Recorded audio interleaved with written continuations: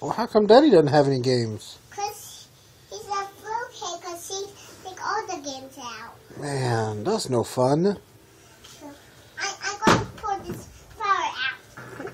Well, why'd you do that? Because Daddy's a fruitcake.